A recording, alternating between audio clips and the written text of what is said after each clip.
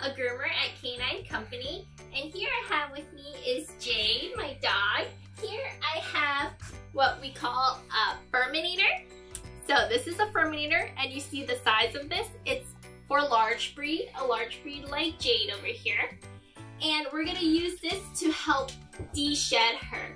So there's a big difference at what we're gonna do for de-shedding versus brushing. So if you come over here, we're gonna take a look and you could see that I'm just lightly brushing her neck. So I like to work my way with the grain, never against the grain. So we're gonna go like this and already you could tell after 10 seconds, look how much hair came out of her.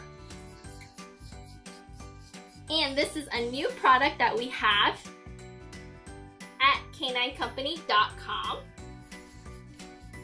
Why we recommend de-shedding versus brushing tools is because it actually takes away a lot of the undercoat. And you can see Jade quite enjoys it. She loves getting a good scratch on her back and she loves the motion. It's great for their skin, it's great for their coat.